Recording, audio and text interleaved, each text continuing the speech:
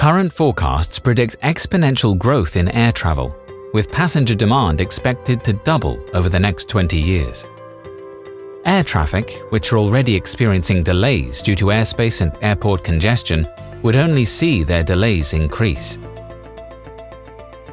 The current ATM technology and methods used for coordinating between stakeholders will be insufficient to deal with the future air traffic capacity increases and likely hinder the ability to make progress.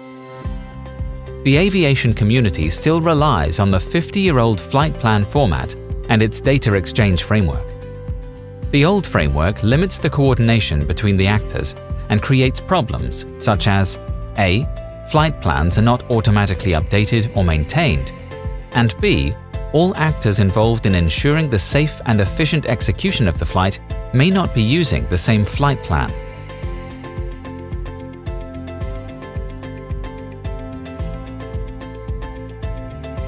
In order to overcome the expected traffic growth while increasing operational efficiencies, ICAO has developed the Trajectory-Based Operations concept with supporting enablers, also known as TBO.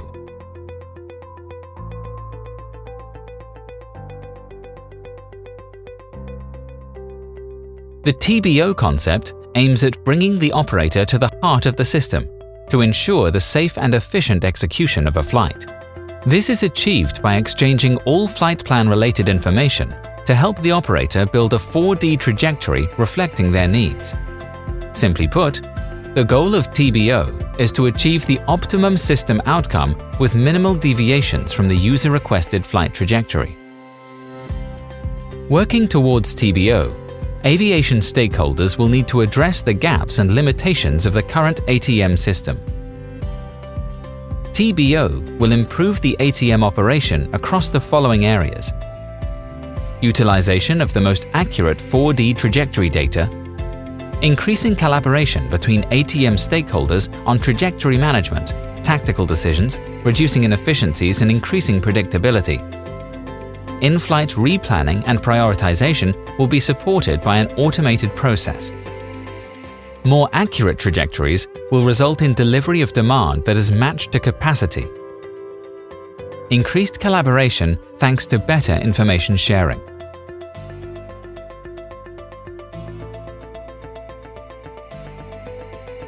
ATM actors will share information on constraints which affect airspace.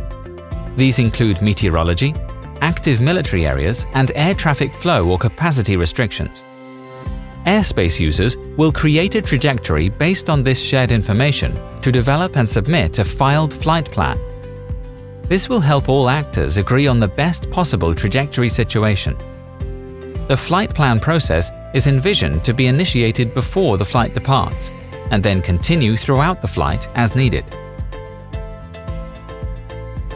The trajectory will be exchanged between stakeholders using FF-ICE with a SWIM-compatible exchange format.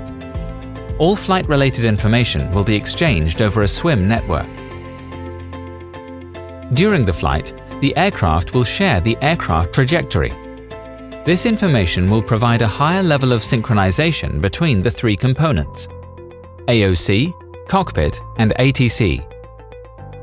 The information will enable the flight crew and ATC to optimize the trajectory while also making changes based on weather or other capacity constraints.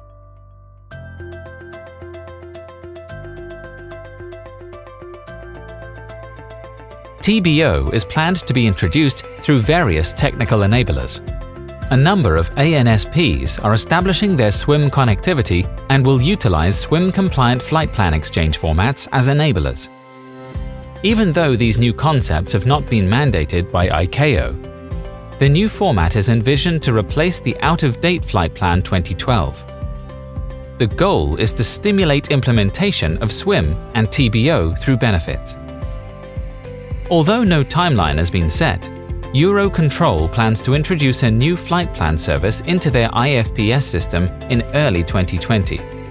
And while the FAA continues to work on implementation of a new flight plan format, they are using a new Flight Information Exchange data model for their internal ATM system data exchange.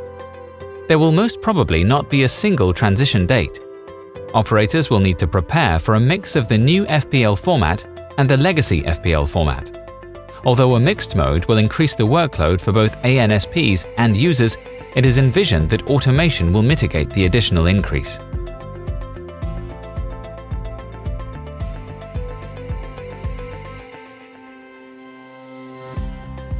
Trajectory negotiations will require the airlines to exchange flight plan and constraint information with ATC before departure and during in-flight.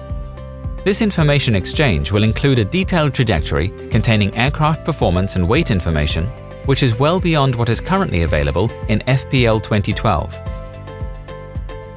Airlines will need to update their flight plan and operating systems to benefit from the more detailed information exchange. This is especially important for full TBO implementation. A highly automated and functional flight plan system will be required to minimize the impact on dispatcher workload and maximize the benefit. One of the key functions will be the ability to submit a flight plan earlier than the current 1 to 3 hour standard. This will enable ANSPs and operators to enter into a back and forth trajectory negotiation. Ultimately, cockpit connectivity to FOC and ground systems will be required to achieve full TBO. In order to receive trajectory updates from aircraft, enhanced communication capabilities between aircraft and ground-based actors to enable the exchange of information is being pursued. The TBO concept will include dynamic real-time route optimization with a high-level in-flight trajectory management system, changing the process procedures used by dispatchers and pilots.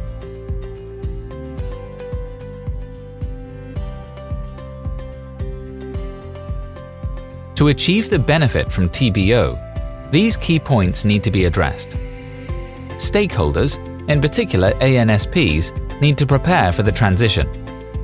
ANSPs will need to build in sufficient infrastructure capacity if they want to benefit from the additional information made available via SWIM. Accurate flight data with timely and accurate weather, ATM and AIS information should be shared between operators and air traffic for better ATM planning. Improved airspace management should be possible from the timely and more robust information provided via the new information exchange format.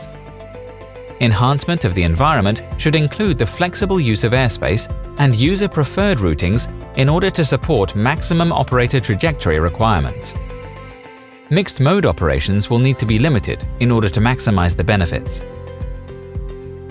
To get from today's infrastructure to TBO, each ICAO region, in coordination with airspace users, will need to develop an implementation strategy identifying which critical events will drive their decision about the transition. Global and regional air navigation plans must consider the state of equipage, cost to improve the systems and infrastructures, and the impact this may have on operators, both positively and negatively. In order to minimize the impact, the transition plan should take into account the above and the effect it will have on traffic flows. Accommodating the growing demand while increasing flight efficiency will require a paradigm change in the ATM system.